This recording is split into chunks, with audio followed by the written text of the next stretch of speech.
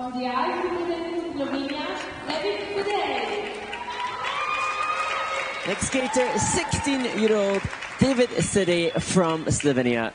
Well, 12th in Ostrava Week 2, 32nd of the Junior Worlds last season, 49.89 personal best. The Lombardi Trophy. Skating to lies by two feet.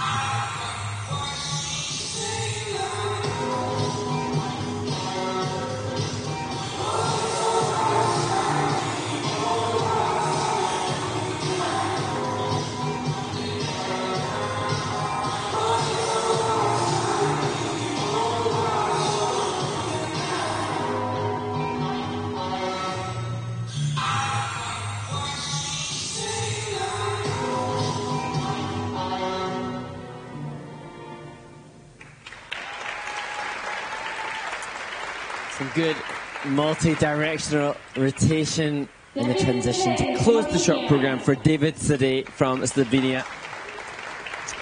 Yeah, just unfortunate on the loop. There's a, a fall there.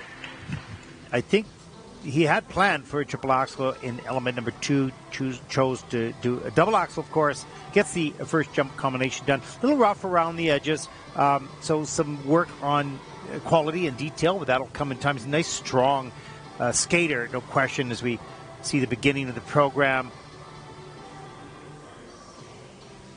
Just taking the time to establish as we take a look at the triple lutz, triple toe loop. That was nice. Reloads, pushes up, gets it done. Yeah, clean in the judging system. Nice work there. It's the double axel.